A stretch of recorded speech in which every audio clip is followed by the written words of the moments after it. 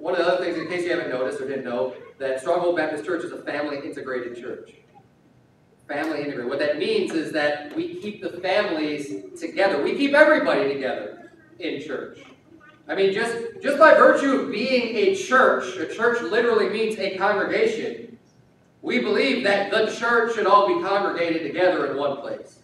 So we don't have multiple churches. We don't. I mean, right now it's pretty easy to say that because we just have one room that we're renting out. So we don't have a bunch of partitions and things to send kids off to. But I'll tell you what, we're never, as long as I'm pastor of this church, we're never going to have we're never going to have children's church. We're never going to have other church things, other things going on where we split people up and you're going to go off into this room and you're going to go off into that room and we're going to be here. And we're not doing it. We're not splitting the church.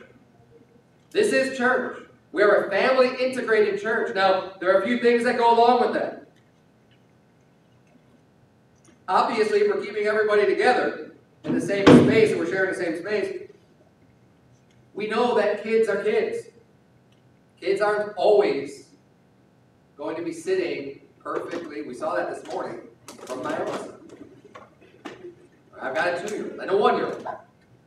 Now, I expect it out of my older kids. They better be sitting there right. They know better.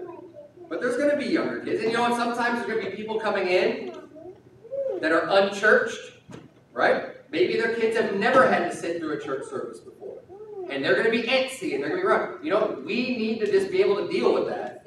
And I'm going to prove to you from Scripture why it's biblical to have a family integrated church, to have everybody together in one place, and why we do it. This isn't just some preference. This isn't just because I'm pro family. It's because I think it's the right thing to do. And this is the way that all of our doctrines should be within this church, is that there's actually scriptural reasons and evidence for the reason why we do everything. Even the, the church service that we hold, now not everything is, is detailed to the point of you know how many songs we need to sing, whatever, but we know that in a church setting that we should be singing praises unto the Lord. We know that we're going to be hearing from God's word. You know, you know, there's there's certain aspects that go along with congregating together and having a church service that ought to be there, and it all should be coming from the Bible. We shouldn't just be throwing in, just, just changing things, just make it all our own way, and, and changing the way that the Bible defines things. This is the way, this is our source, this is what we're going to for all uh, purposes, for everything that we believe, all matters of faith and practice. Not just what we believe, how we practice it. So we're practicing church.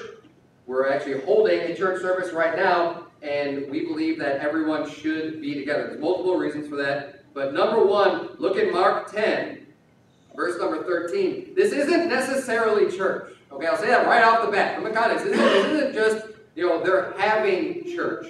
But what's going on here is that Jesus is teaching. Jesus is wandering around and teaching. And there are, I believe, there are churches that are assembling to hear, there's congregations assembling to hear Jesus teach and to hear him preach. Now he's going around healing, he's doing a lot of things. Okay? But the statement that he makes here in Mark chapter 10 is applicable and I think goes a long way above and beyond just this one particular setting that he's in with his disciples. Look at verse number 13. The Bible says, And they brought young children to him, that he should touch them. Now, why do they want to be touched? They either want to be healed or they just want them to be blessed. Right? So some people have their children there, and they're trying to bring their children to Jesus. Because they want Jesus to lay hands on their child. And the disciples rebuked those that brought them. So they said, What are you doing? You know, what are you doing bringing those kids here? Don't bring, you know, Jesus doesn't want to be bothered with, with your kids. Now, obviously, we don't know exactly what they were saying, but they're being rebuked for bringing the children unto Jesus. Verse number 14, but when Jesus saw it, he was much displeased. So that bothered Jesus Christ. He noticed what was going on, and it bothered him, and he was upset. He's like, whoa, whoa, wait a minute. He says unto them, Suffer the little children. Suffer means allow it. Allow this to happen. Suffer. Allow the little children to come unto me and forbid them not. For of such is the kingdom of God.